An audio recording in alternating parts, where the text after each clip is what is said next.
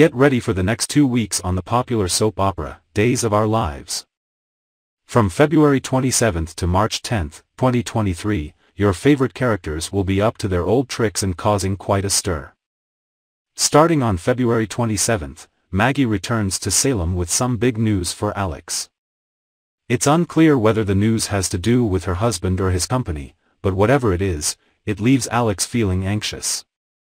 Meanwhile, Li and Gabi are having trouble negotiating a deal, especially since Gabi is in love with Stefan. Stefan is determined to win her back by any means necessary, but it remains to be seen whether his plans will work.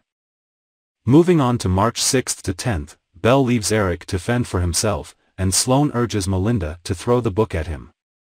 Nicole and EJ turn the tables on Stefan, leading to a family feud that is going off the rails. Meanwhile, Li tries to win back Gabi, and Rachel causes problems for Brady and Chloe. On March 8, Li interrupts Stefan's romantic rendezvous with Gabi, while Sloan gets under Nicole's skin. Paulina hires Belle to defend her against Sloan, and Chanel gets to know Talia, who applies for a job at the bakery. On March 9, Alex and Maggie disagree over business matters, while Chad finds himself in hot water with Stephanie. Paulina's news puts Chanel in an awkward position with Talia, and Jada asks Rafe if he's romantically interested in her. Finally, on March 10, EJ sets Stefan up for a fall, and Johnny pulls a fast one on Tripp.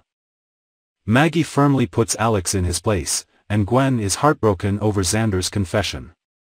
Don't miss a moment of the action on Days of Our Lives. The next two weeks promise to be thrilling and full of drama.